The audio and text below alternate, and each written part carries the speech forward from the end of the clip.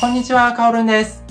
今日はですね、なかなか夜寝つけない方、そしてね、音楽を聴きながら寝たい方へですね、とっても面白い骨伝導スピーカーがございましたので、それを紹介していきたいと思います。それがこちらです。ドンボニオさんの骨伝導スピーカー980でございます。イェイこちらですね、寝るときに枕の下に入れて使うんですけれども、音楽とかね、YouTube をイヤホンをつけなくてもね、使うことができる一風変わった製品でございます。たまたまね、仕事で寝るときに耳栓を使うんですかそれとも何か音をね、流して寝るんですかってね、話題になって、結構ね、音を流しながら寝る人がね、多かったので、その時にちょうどね、このスピーカーを見つけて、よしやろうってね、思いました。このね、スピーカーめっちゃおすすめなんで、レビューしていきたいと思います。それではね、まずは基本スペックから見ていきましょうイェイ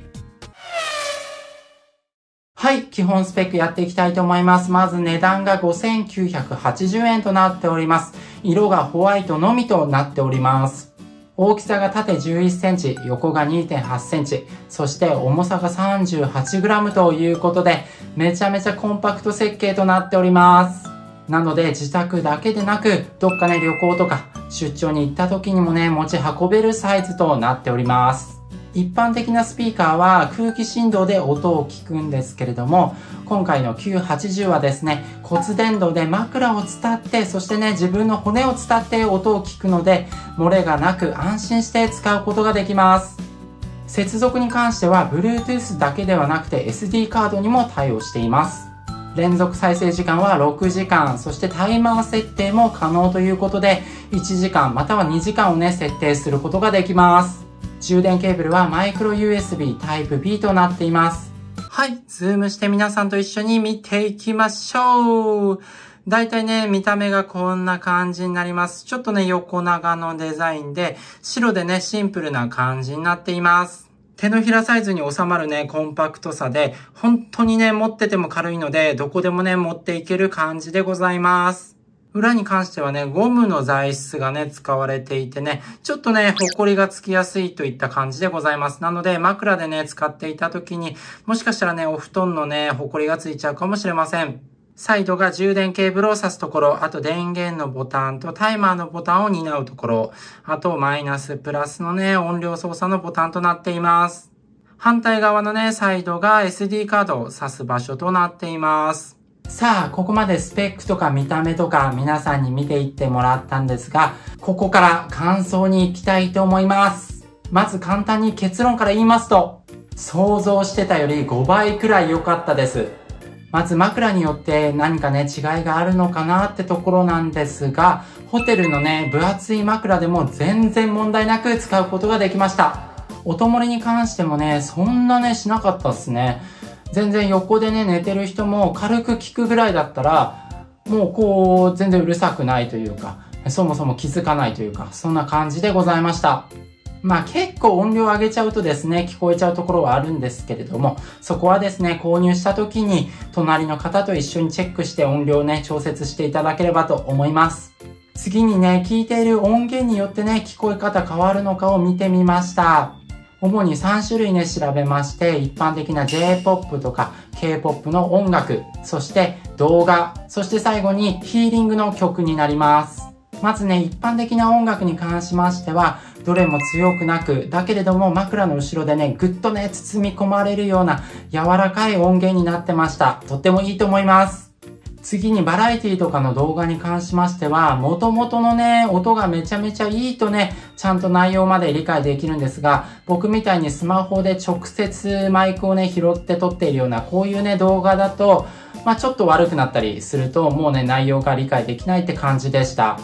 まあ内容までわからなくても寝る時っていうのはその人の声を聞きたいとか雰囲気を感じたいっていうのが目的だと思うので逆にね理解ねするために聞くってなると目が冴えちゃうのでまあちょうどいいんじゃないでしょうか。逆にこの980寝るためにあえて音を悪くしてたらすごいですね。そして最後にヒーリングですね。こちらもぐっとね、音楽と同じように包み込まれるような感覚がありまして、まあヒーリングってね、開放的なね、音ですし、イヤホンもね、つけないっていうのも相まってね、めちゃめちゃいい感じでした。続いてまだまだいいところをお伝えしたいんですが、やっぱりね、イヤホンつけずに寝れるのが最高っすね。イヤホンつけて寝ちゃうと横向いて寝た時ね、耳が痛いとか、あとはね、落ちちゃう心配もあるので、朝起きた時に、あれどこ行った？みたいな感じでね、なるのがね、ちょっと大変かなっていう感じでしたので、このスピーカーね、素晴らしいと思います。あとは先ほど動画の音源によって聞こえづらいとお伝えしたんですけれども、横向いて寝るとね、めっちゃ理解できるようになりました。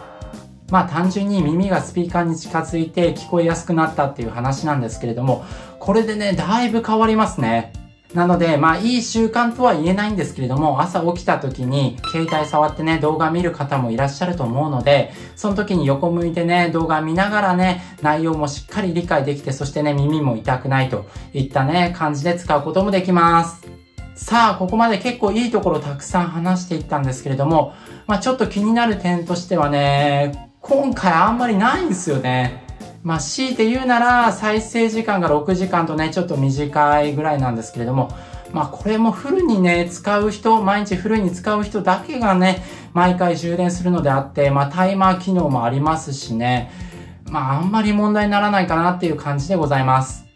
それではまとめに行っていきましょうはい、ということで今回はなかなか寝つけない方、そして音楽を聴きながら寝たい方へですね、とってもね、めちゃめちゃいい骨伝導スピーカー、ボニオさんの980をレビューしていきました。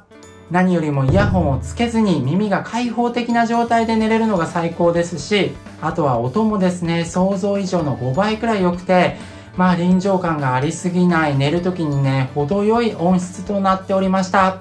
今回のボニオさんの980詳しい製品情報を下の概要欄に貼っておくので、ぜひね、チェックしてみてください。はい、今回もカオルの動画ご視聴いただき本当にありがとうございました。カオルの動画楽しかったよ、面白かったよ、役に立ったよと思ってくださった方、ぜひね、チャンネル登録、グッドボタンよろしくお願いいたします。カオルンチャンネル、チャンネル登録者1000人を目標にコツコツ動画を上げてまいりますので、応援のほどお願いいたします。それではまた次のカオルの動画でお会いしましょう。見てくれてありがとうバイバイ